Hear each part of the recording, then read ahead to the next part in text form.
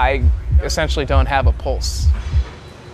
You could check everywhere you'd want and you won't feel a pulse. So I'm pretty much the best looking zombie you'll ever see.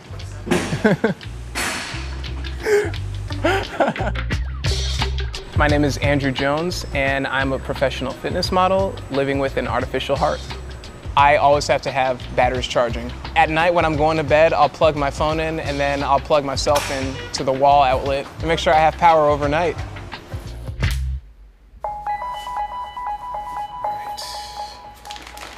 In 2012, I was diagnosed with a cardiomyopathy, which affects the heart's efficiency to pump blood.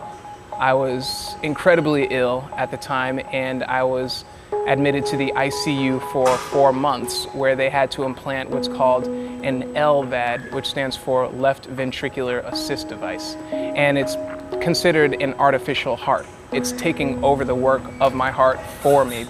These devices, uh, the two batteries and the computer, these are what are powering and controlling the artificial heart to make sure that it's working efficiently and working properly.